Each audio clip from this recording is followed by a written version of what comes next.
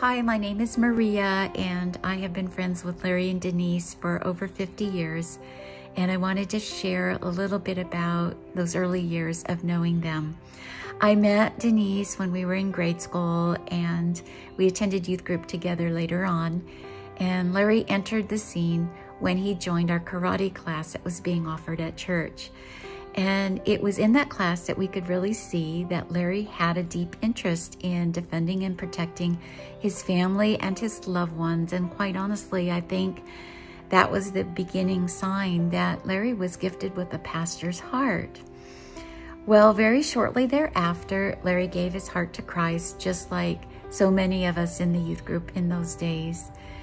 And he was quite the good looking guy. And um, he earned the nickname Captain Kirk because he looked just like the handsome TV star of the 1980s version of Star Trek, William Shatner.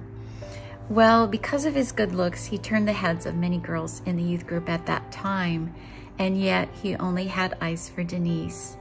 It was in those days that Larry taught us this game, look for the padiddles. He taught us this game when he would give us rides to and from youth group events in the evenings, and Denise would be sitting by his side. He would tell us if you see a car with one headlight or one tail light burned out, we were to call out padiddles, and it was his opportunity to sneak a kiss, kiss with Denise. Larry was a gifted pastor. He was a gifted teacher. I'm going to miss Larry. He had such a, a gentle spirit. He had such a kind heart. And he had a great sense of humor that we all enjoyed that really uh, helped him be so likable and able to connect with so many people on different levels. I'm going to miss him. And yet I rejoice and am grateful for the time that we had with him. And uh, I believe Larry was a gift from God to all of us for such a time as this. Oh, one of my favorite memories with Uncle Larry and Auntie Denise, um, and it's not just with them, this is probably one of my favorite memories from childhood. Uh, we just gone and watched a, a, a, baseball game up in San Francisco, and we were driving back down to Santa Cruz, and Uncle Larry was driving a uh, Auntie Denise's new car, and Auntie Denise was asking about um, the cruise control button, and Uncle Larry was like, "Wait, you you haven't tried this new cruise control? You got to, honey, you got to check this out. This is amazing. It's autopilot. You know, it it will do everything for you." So Uncle Larry presses the, the cruise control button on the steering wheel, takes his hand off of the steering wheel, and the car is just completely piloting itself down the highway. I mean, it's as the road bends, the car turns with the bend of the road. We needed to exit, and the car took the exit that we needed to take. And Auntie Denise was just like completely mind blown. Like, she was just like, What? I can't believe this brand new car has got this feature, and I didn't know about it, yada, yada. Meanwhile, I'm in the back seat and I could see his knee steering the car. So that was that that was kind of one of the uh, one of my favorite stories about him that showed how how much of a fun-loving guy he was and how he really liked to make people laugh and and just make an otherwise maybe mundane situation fun. And um, that's a good snapshot of Uncle Larry. You know, we had some fond memories with him. Uh, he was nice enough uh, to fly out for our graduation along with Auntie Denise. Uh, so both uh, my brother Tyler and I both got to see him uh, here in Hawaii for our high school graduations. Um, and you know, it's just amazing that he took the time to make an effort to come out and see all of his nieces and nephews' graduations. Uh, you know, it really meant a lot that he actually took the effort to make it extra special for all of us even when I drove cross country all the way from Miami to California, he was, you know, they were able to get all the family together. So it was nice to see all the uncles and aunties and, and cousins there. I know he meant a lot to everybody. My family, uh, Uncle Carl, Auntie Leonie, Tyler, uh, my kids, all send our, our biggest hugs and love. And, you know, we wish you all the best. The first time I met Larry and Denise was in their beautiful home in Northern California when our sons, Mike and Tyler, was in college. I had the opportunity to have breakfast with Larry and he was eating pie. The first thing I said to him, Larry, why are you having pie for breakfast? And he said, growing up, I was told I could not have dessert for breakfast. And he told me that he knew that when he became an adult, he could have whatever he wanted. Then he looked at me and said, just think about it. Pie has sugar, eggs, flour, milk, all of the things that are healthy. Well, Larry, you were very wise. Thank you for sharing your life and your family with us. We love you.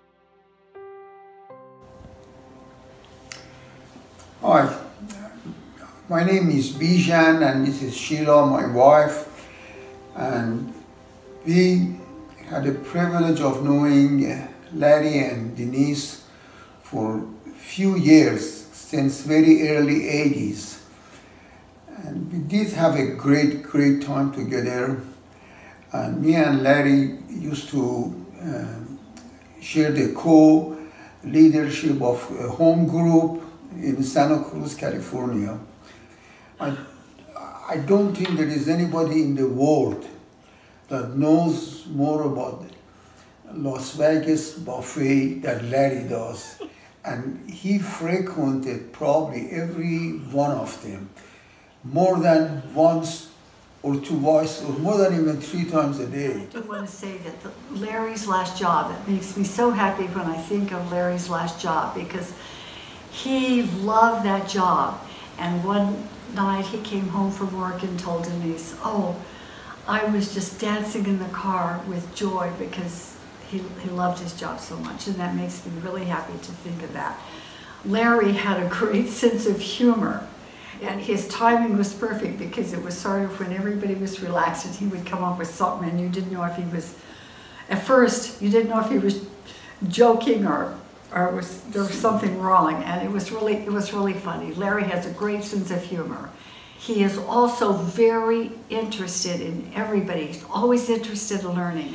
Um, and one of the last things he did with some friends of ours is he learned how to make different items with wood and he was gonna set up a whole wood shop in his garage. And so he's just was interested in everything. And that was that was just beautiful to watch. Beautiful to watch. So we just, I'm just grateful to know him for, for long and it, it was joy uh, to know both Larry and Denise. Well, good afternoon. Uh, it's my pleasure to share a minute or two with you about my good friend, uh, Larry Holser. Uh, Larry and uh, Denise we're friends that we met probably 45 years ago in Santa Cruz, California. We attended the same church uh, together and actually did life groups. In those days, we called them cell groups or home groups. But we wound up sharing life, families, uh, and seasons together and, uh, and involved ourselves in each other's lives. One thing I learned about Larry early on is he loved the Word of God. He loved to study uh, the Word of God. Such that uh, Denise loved to tell a story about how regularly in the evening Larry would be studying something at the computer and it would get later and later and finally she would go off to bed. And eventually he would fall asleep at the keyboard. And she got to a place where the only thing would get her up was when she'd hear the big thud which meant he had fallen asleep at the keyboard and fallen out of his chair and hit the floor, which was his motto. But he did love the Lord. He did love the Word of God. As a matter of fact, early on in our relationship, we used to tag team at our church, uh, teaching a Sunday school class. And I would teach for three months, uh, and he would teach for three months. And uh, we would go back and forth. Larry's class was very popular. And uh, one time I remember telling him, you know, I don't want you to get a big head, so just remember that uh, if I can go get two dozen donuts, I can steal your class. He laughed, didn't take me serious, although I was serious. Uh, during that time, going to that church, both of our families got called to, to the ministry. Larry and Denise uh, received a call from the Lord, uh, a pastoral call, and Stephanie and I uh, were called into missions and uh, relief work. One thing about Larry and Denise, uh, God gave them a very unique heart to pastor. Uh, they loved people. They invested their lives in people. They counseled uh, people. They were perfect as shepherds. As a matter of fact, they over the years they ministered to our family to the point that I always considered Larry my personal pastor among two or three, not more, uh, pastors that I've known over the years that I trusted, uh, who invested uh, his life and time uh, in me and in our family. One of the topics, one of the theological topics in the body of Christ, if you've been uh, in the family of God very long, is so what are we going to do in heaven when we get there? Well, I don't know uh, the answer to that, but I know what Larry's doing. The reason I know that is three nights ago, I was enjoying a nice sound sleep at night, and I had a dream. And in my dream, Larry was instructing me. Now, I don't dream a lot about Larry, and I feel really good about that. But in my dream, Larry says, I want you to tell Archie that he's working too much and he needs to slow down. It was interesting because Larry never met Archie and I hadn't seen him in probably 10 years. But I took his counsel serious and I passed the information to Archie and I said, a good pastor friend of mine says that you're working too much and you need to slow down. So I don't sure uh, how long Larry uh, rested when he got to heaven, but I know he's working now. And that's exactly how he likes it. And I expect when I see him next, uh, he will have some information for us. And uh, I thought maybe we'll even team teach. I'll bring the donuts and we'll see how it goes from there.